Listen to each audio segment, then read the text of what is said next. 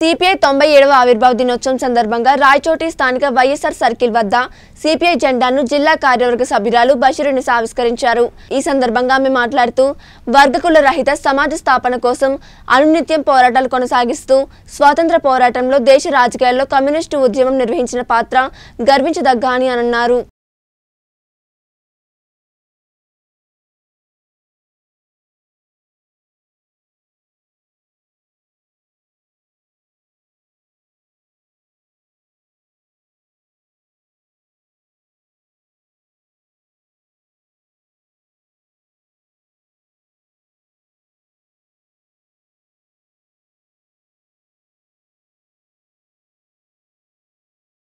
పిడికలు బిగించి స్వాతంత్రమే మా జన్మ హక్కు.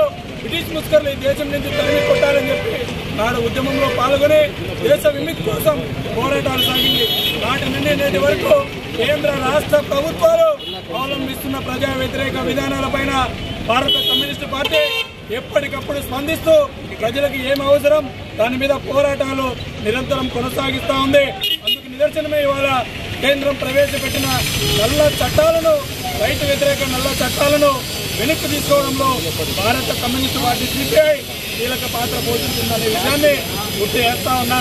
భారతదేశంలో దేశంలో ఉన్నటువంటి బీజేపీ ప్రభుత్వం మతోన్మాద ప్రభుత్వం ఇవాళ దేశ సంపదనంతా కూడా కార్పొరేట్ వ్యక్తులకు దోసి పెడతా ఉంది. ఇవాళ ఉప్పు రేటు పప్పు రేటు పెరిగిపోతూ ఉన్నాయి. పేద బడుగు బలైన వర్గాలు ఇవాళ బ్రతకడానికి ఇబ్బందులు పడుతూ ఉన్నారు. నిత్యావసర వస్తువులు ధరలు పెరిగాయి. పెట్రోల్ డీజిల్ గ్యాస్ ధరలు పెరిగాయి. కానీ నియంత్రించడంలో కేంద్ర ప్రభుత్వం పూర్తిగా విఫలమైంది. కాబట్టి మనం ఒకటే డిమాండ్ చేస్తూ ఉన్నాం. ఇవాళ కేంద్ర ప్రభుత్వం అవలంబిస్తున్నటువంటి కార్పొరేట్ వ్యక్తులకు ఏదైతే దోచిపెట్టే విధానాన్ని లేకపోతే ప్రభుత్వ సంఘ సంస్థలను పరం చేసేదాన్ని తక్షణం ఉపసంహరించుకోవాలి. అంతవరకు భారత కమ్యూనిస్టు పార్టీ నిరంతరం పేద ప్రజల పక్షాన పోరాటానికి సంసిద్ధంగా ఉంటుందని చెప్పి సందర్భంగా విజ్ఞప్తి చేస్తూ అవకాశం ఇచ్చిన అందరికీ కూడా ప్రత్యేక